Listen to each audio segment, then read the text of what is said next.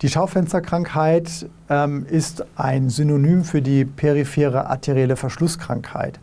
Patienten mit dieser Krankheit haben Gefäßverengungen oder Gefäßverschlüsse, die letztlich zu Durchblutungsstörungen im Bereich der Beine führen. Das hat zur Folge, dass der Patient unter Belastung Schmerzen vorzugsweise in der Wade bekommt und gezwungen ist, stehen zu bleiben. Das heißt, man kann sich das vorstellen wie bei einem Einkaufsbummel. Man läuft und bleibt am Schaufenster stehen.